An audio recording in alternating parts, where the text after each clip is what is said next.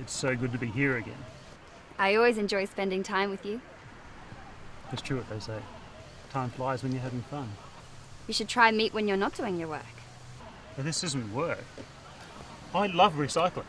I love to separate the garbage, searching for the recyclables to be reused. Yes, it is very exciting. It's not just exciting, it's fulfilling knowing that I've done my part for the environment. I know. Look at this. Someone has thrown out a plastic bottle and a can. Both recyclables.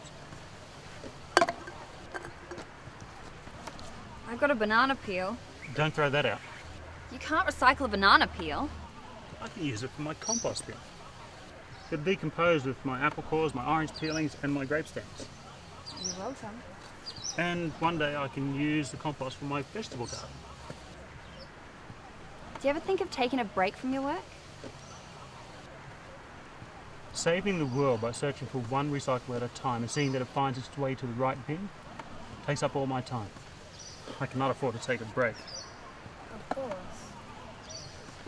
It might not seem to be a big deal, but every bit of recycling helps the planet. You're very passionate about your work. I think I understand what you're saying. Yes? What's that? It's true I never stop work. But the truth is, I love Yes? I love recycling.